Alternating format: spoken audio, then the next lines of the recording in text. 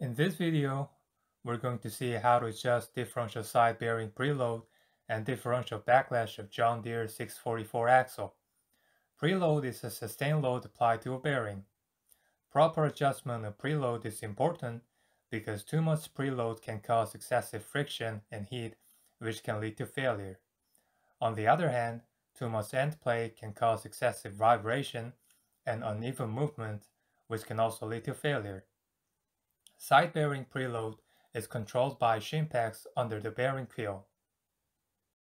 Once you remove the bearing quill, add enough shims to obtain specified end play. Next, install at least 3 cap screws and tighten to 92 foot-pound.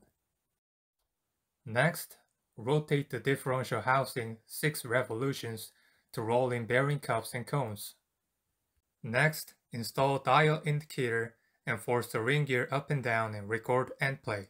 Next, calculate the sum of the recorded end play and required preload.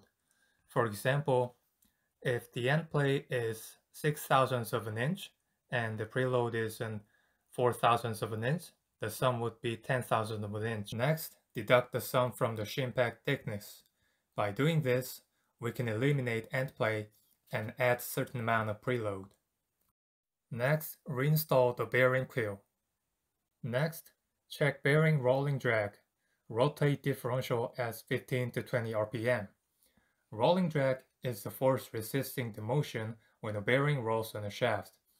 If it's not within specification, we have to either add or remove shims.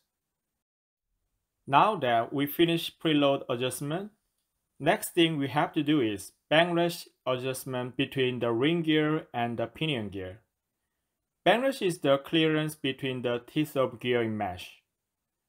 Backlash allows for thin layer of lubricant between the tooth contact surfaces and for expansion of the gear due to heat.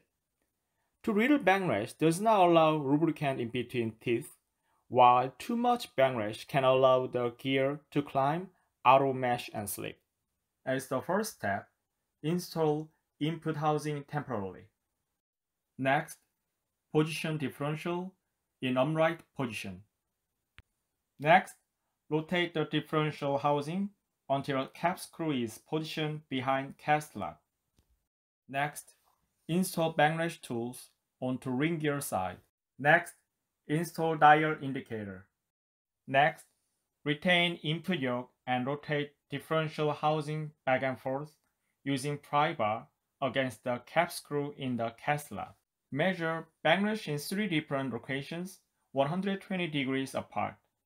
Average the three readings. Next, to increase backlash, remove shim from the side quill. To decrease backlash, add shims to the side quill. Next, apply Loctite 243 onto bearing quill cap screws.